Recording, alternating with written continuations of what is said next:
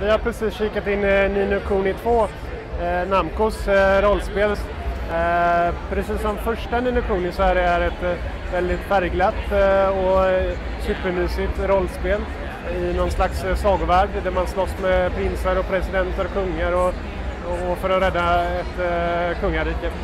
Eh, och vi eh, slogs mot en eh, slags eh, jättelik drake eh, där man får utnyttja sina magier för att bland annat eh, eh, ja, liksom tåla eld och så vidare.